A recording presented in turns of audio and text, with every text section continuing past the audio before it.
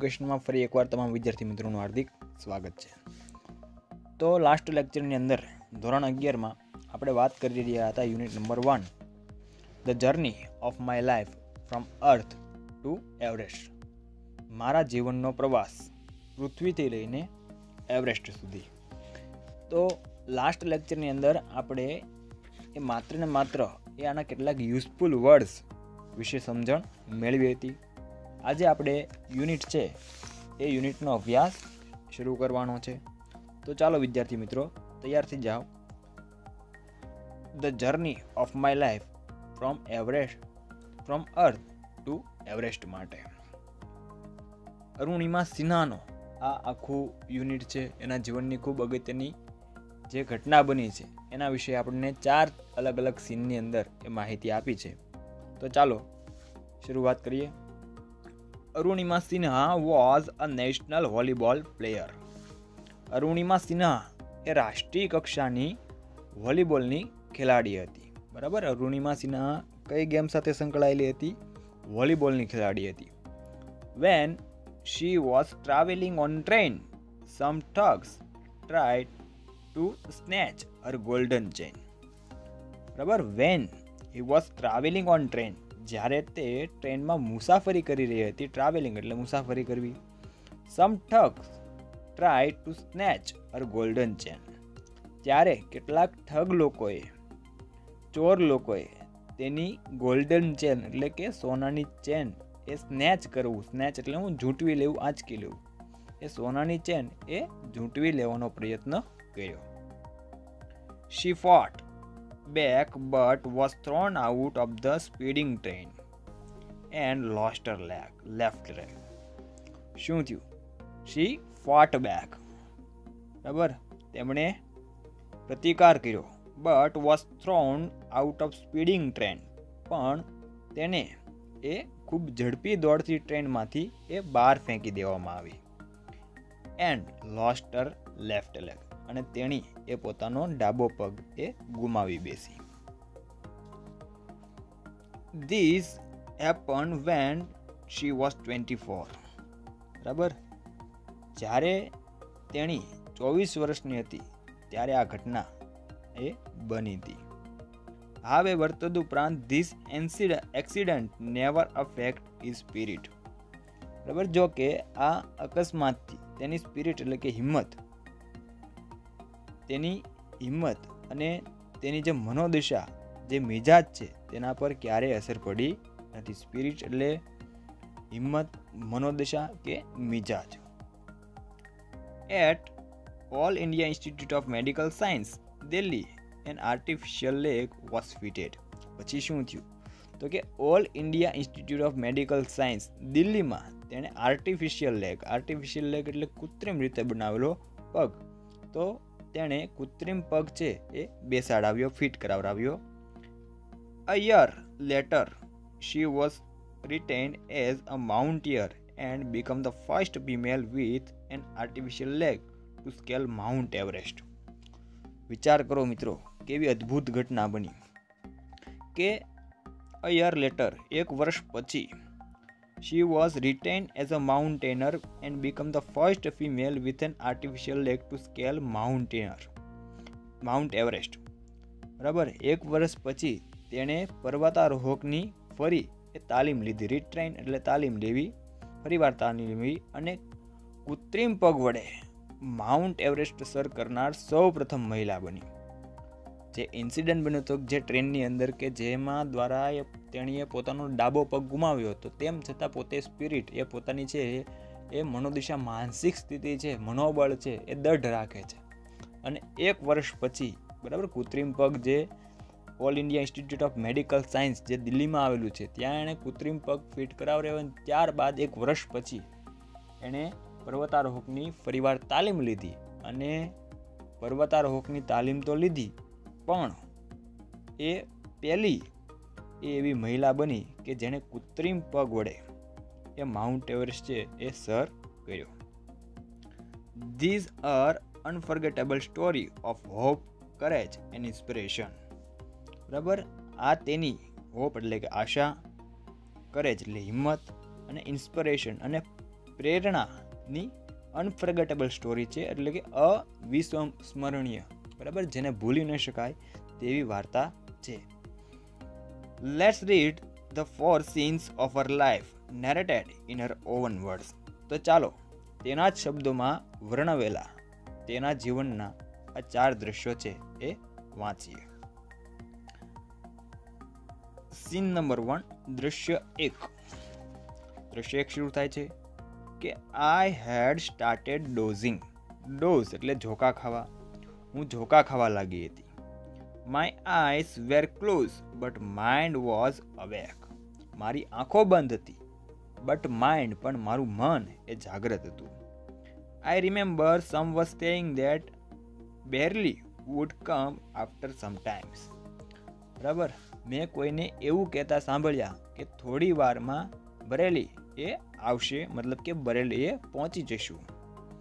I was in deep thought when I felt a hand tugging at my golden chain tugging my golden chain બરાબર? પછી શું થયું? તો કે હું ખૂબ ડીપ થોટમાં હતી. હું ખૂબ ઊંડા વિચારમાં ડૂબેલી હતી.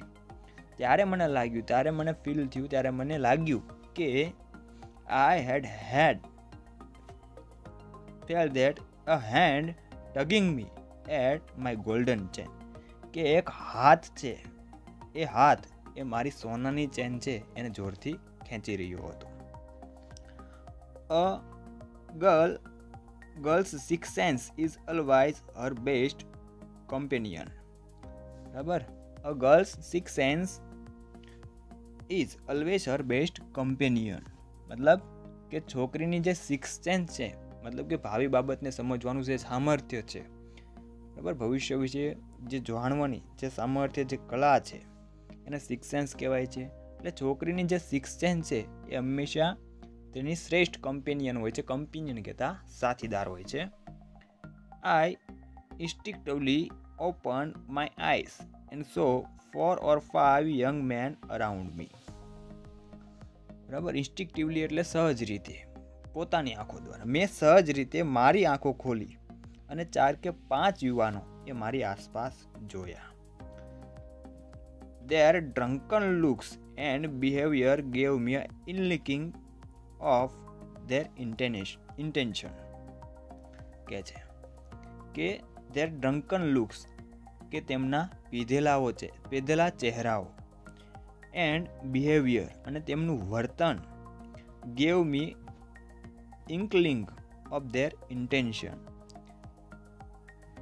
તેમણે તેમના ઈરાદાઓનો અણસાર આપી દીધો હતો. બરાબર? એમના ચહેરા કેવા હતા? પીધેલા હતા. મતલબ કે તેઓ ડ્રંકન હતા ડ્રંકન પીપલ હતા, પીધેલા લોકો હતા. તો એના ચહેરા અને એના વર્તને, બરાબર? એના જે ઈરાદો હતો, જે ઇન્ટેન્શન હતો, એ ઇન્ટેન્શનનો ખ્યાલ, અણસાર એ અરુણિમા સિન્હાને આપી દીધો હતો. I stood up in a flash to tell them I had no intention of parting with my chain કે છે I stood up in flash પછી શું થયું? કે હું એકદમ ઝડપથી ફ્લેશ એટલે વીજળીનો ચમકારો, પણ અહીંયા ઝડપથી એવો અર્થ થાય છે. હું એકદમ ઝડપથી એ કહેવા ઊભી થઈ. શું કહેવા ઊભી થઈ? To tell them that I had no intention of parting with my chain બરાબર? કે મારી ચેનને છોડી દેવાનો, કે આપી દેવાનો, મારો કોઈ ઈરાદો નથી. Some so they came together at me એટલે તેથી તેઓ ટુગેધર એટલે ભેગા થવું તેથી તે ભેગા મળીને મારા તરફ આવ્યા Even though the compartment was full, none of my fellow passenger got up to even inquire what was happening. Forget about their coming to rescue. પછી શું થયું? જો આ બહુ વાસ્તવિકતા છે કે even though the compartment was ફૂલ જો કે આખું કમ્પાર્ટમેન્ટ કમ્પાર્ટમેન્ટ કે ટ્રેનનો ડબ્બો, એ આખો ટ્રેનનો ડબ્બો છે એ ભરેલો હતો. તેમ છતાં none of my fellow passenger got up to even enquire what was happening તેમ છતાં એક પણ સાથી મુસાફરોએ શું થયું છે તે પૂછવા પણ કોઈ ઊભું થયું નહીં. Forget about their coming to rescue તેમના દ્વારા મને છોડાવવાની વાત તો ભૂલી જ જાઓ. બરાબર? અરુણિમા સિન્હા છે એ જે ડબ્બામાં બેઠી હતી ડબ્બો આખો ભરેલો હતો. તેમ છતાં શું થયું છે? બરાબર? એ પૂછવા પણ એ કોઈ આવ્યું નહીં. એટલે એને છોડાવવાની વાત તો કરવાની જ નહીં રહી, આપણે ભૂલી જવાની રહી. રેસ્ક્યુ એટલે બચાવવું, પ્રયત્ન કરવો, બચાવવાનો પ્રયત્ન કરવો, છોડાવવાનો પ્રયત્ન કરવો. I had no opinion but to take them on બરાબર? I had no opinion option છે sorry I had no option but take them on તેમનો સામનો કરવા સિવાય એ મારી પાસે કોઈ વિકલ્પ નહોતો. ટેક ધેમ ઓન એટલે સામનો કરવો, તેમનો સામનો કરવો. બરાબર? ટેક ઓન એટલે સામનો કરવો. એટલે એમનો સામનો કરવા સિવાય અરુણિમા સિન્હા પાસે બીજો કોઈ પણ વિકલ્પ હતો નહીં. So I caught a young so I caught a youth who was trying to seize size me up by his collar and push him back પછી શું કર્યું? બરાબર? જો કેટલી હિંમતવાળી છોકરી છે, એ અહીંથી આ સીન ઉપરથી પણ આપણને ખબર પડી જશે કે તેથી મારી પાસે આવીને મને પકડવાનો જે પ્રયત્ન કરી રહેતો હતો કરતો હતો એ યુવાનને મેં તેના કોલરથી પકડ્યો અને પાછો ધકેલ્યો. બરાબર? આઈ કોટ આ યુથ યુથ એટલે યુવાન. Was trying size me up by his collar by his collar and push them push him back બરાબર? એટલે યુવાન જે એને પકડવાનો પ્રયત્ન કરી રહ્યો હતો, એને તેના કોલરથી પકડ્યો અને પાછો ધકેલી દીધો. I kicked a couple of others kick એટલે લાત મારવી. બે ચારને મેં બીજા બે ચાર હતા, એને મેં લાત મારી. An exceptional battle had begun inside the train on the move બરાબર? ચાલુ મુસાફરીએ ટ્રેનમાં અભૂતપૂર્વ કે અપવાદરૂપ સંઘર્ષ, એ શરૂ થઈ ગયો હતો. બેટલ કહેતા સંઘર્ષ, યુદ્ધ, જંગ. The wolves made another attempt to snatch my chain wolves કહેતા વરુઓ. બરાબર? પણ અહીં વરુઓ છે કોના માટે વપરાયું છે મિત્રો? તમને ખ્યાલ આવી જશે, આઈડિયા આવી જશે કે વરુઓ છે જે આખી ગેંગ હતી કે જે આ ઠગ લોકો હતા, બરાબર? એ ઠગ લોકો માટે આ વુલ્ફ શબ્દ વપરાણો છે કે જે અરુણિમા સિન્હાનો ચેન છે યાચકવા માટે આવ્યા હતા અને તેઓ જે પીધેલા લોકો હતા, બરાબર? એટલે કે છે the wolves made another attempt to snatch my chain આ વરુએ એ મારો ચેન ખેંચવાનો, ચેન જૂટવી લેવાનો, એ બીજો પ્રયત્ન કર્યો. Still I resist until one of them driven by a frenzy gave me an extra hard kick using all his force પછી શું થયું? બરાબર? કે હજી પણ મેં પ્રતિકાર કર્યો. સ્ટીલ આઈ રિસિસ્ટ રિસિસ્ટ એટલે પ્રતિકાર કરવો હજી પણ મેં પ્રતિકાર કર્યો. અન્ટિલ જ્યાં સુધી one of them driven by frenzy gave me an extra hard kick તેમનામાંથી એક જણને ફ્રેન્ઝ એટલે આવેશમાં આવી જવું. આવેશમાં આવી જઈને બધી જ શક્તિનો ઉપયોગ કરીને મેં એક બધી શક્તિનો ઉપયોગ કરીને મને એક ખૂબ જ જોરથી લાત મારી. બરાબર? આ જે ઠગ લોકો હતા, એ ઠગ લોકો હતા એમાંથી એક વ્યક્તિએ, એ અરુણિમા સિન્હાને છે, એ ખૂબ જ બળપૂર્વક બધી જ પ્રકારની શક્તિ ઝોંકીને એ તેને લાત મારી દીધી. Off balance I off balance એટલે સમતોલન ગુમાવવું. બરાબર? મેં સમતોલન ગુમાવી દીધું. મેં સમતોલન ગુમાવી દીધું and could not recover in time અને સમયસર હું સમતોલન પાછું મેળવી શકી નહીં. I literally flew out the train still holding my mobile phone બરાબર? હું રીતસર એ ટ્રેનની બહાર ફેંકાઈ ગઈ અને હજુ મારો મોબાઈલ ફોન એ મેં મારા હાથમાં જ પકડેલો હતો. લિટરલી એટલે રીતસર વાસ્તવિક રીતે. I was I was mid air when I flew right into another train moving on the next train ખૂબ જ ભયાનક ઘટના બની છે. શું થયું? કે I was mind mid air when I flew right into another train moving on the next train હું હવામાં જ હતી, ત્યારે બાજુના ટ્રેક પર ચાલી રહેલી બીજી ટ્રેન તરફ ફેંકાય બરાબર? બાજુના નેક્સ્ટ ટ્રેક હતો, જે પાટા હતા બાજુમાં. તો એ બાજુમાં ટ્રેન ચાલી રહી હતી, એ તરફ એ અરુણિમા સિન્હા છે એ ફેંકાય છે. My body hit the moving steel and rebound to my train પછી શું થયું? તો તમે જેવું વિચારો છો, એવું જ થયું કે મારું શરીર છે, એટલે અરુણિમા સિન્હાનું જે શરીર છે, એ ગતિશીલ પોલાદ, એટલે કે અહીં પોલાદ એટલે ટ્રેનની વાત છે, સ્ટીલ એટલે પોલાદ, પણ પોલાદ એટલે કેની વાત છે? ટ્રેનની વાત છે. મારું શરીર છે, એ જે ગતિશીલ ટ્રેન છે, એ ગતિશીલ ટ્રેનને અથડાણું અને રીબાઉન્ડ રીબાઉન્ડ એટલે પાછું ઉછળવું અને પાછું ઉછળીને મારી ટ્રેન તરફ આવ્યું. આખો સીન તમારા માઇન્ડની અંદર ક્લિયર થતો હશે વિદ્યાર્થી મિત્રો, કે એ ટ્રેનમાંથી એક વ્યક્તિને કિક મારી, લાત મારી અને એક ટ્રેનમાંથી બીજી ટ્રેનમાં બાજુમાં જે બીજી ટ્રેન જતી હતી, એની સાથે અથડાય છે અને પાછી પોતાની ટ્રેન તરફ એ ફરે છે, પાછી આવે છે. This pong must have continued for several second before the gravitational force pulled pulled me down બરાબર? આવી આમથી તેમ પિંગ પોંગ એટલે આમથી તેમ અથડાવવું આવી આમથી તેમ અથડાવવાની જે ક્રિયા છે, એ થોડાક સમય સુધી ચાલી. બરાબર? અને મારું જે શરીર છે, એ ગુરુત્વાકર્ષણ બળને કારણે એ ખેંચીને પહેલાં ખેંચે, જમીન તરફ ખેંચે, તે પહેલાં મેં ઘણા પ્રયત્ન કર્યા. શું પ્રયત્ન કર્યા? Despite of my efforts my leg left leg fall on the track બરાબર? ઘણા પ્રયત્નો કર્યા, તેમ છતાં, એ મારો જે ડાબો પગ છે, એ ટ્રેક પર પડ્યો. શું થયું? તો કે ધીસ પિંગ પોંગ બરાબર? મતલબ કે આ આમથી તેમ અથડાવાની જે ઘટના છે, બરાબર? એની અમુક સેકન્ડમાં એ ઘટના બની અને before gravitational force pulled me down gravitational force એટલે ગુરુત્વાકર્ષણ બળ.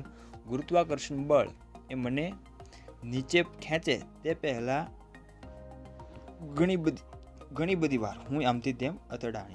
Despite of my efforts effort પ્રયત્ન. મારા પ્રયત્ન કરવા છતાં પણ my left leg fall on the track એ મારો ડાબો પગ છે. એ રેલવેના ટ્રેક પર પડ્યો. કચ that was sound of my leg getting chop chop એટલે કપાઈ જવું. બરાબર? ગજ. આ અવાજ, એ જ અવાજ હતો કે જેના કે જેમાં એ મારો પગ એ કપાઈ ગયો. બરાબર? રૂના સિવાનો જે પગ કપાઈ ગયો અને ત્યારે છે એ ગજ એવો અવાજ આવે છે. There was no one to hear my intense scream scream એટલે ચીસ. બરાબર? મારી ઇન્ટેન્સ એટલે તીવ્ર, મારી તીવ્ર ચીસો સાંભળવા એ ત્યાં નો વન કોઈ હતું નહીં. I lay monotony motionless for while watching the red tail light of train until it dimmed and faded into darkness and then I fainted શું થાય છે? I lay motionless for a while બરાબર? Motion motion એટલે શું થાય? ગતિ. બરાબર?